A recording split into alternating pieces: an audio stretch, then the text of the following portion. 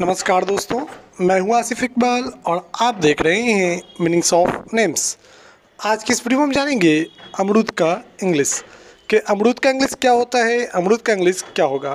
तो अमरूद का इंग्लिश होता है guava G U A V A guava अमरूद। आज की इस वीडियो में इतना ही, फिर मिलेंगे एक नए वीडियो में। तब तक के लिए चैनल को सब्सक्राइब करें वीडियो को लाइक करें और बेल आइकन को प्रेस करना ना भूलें। धन्यवाद।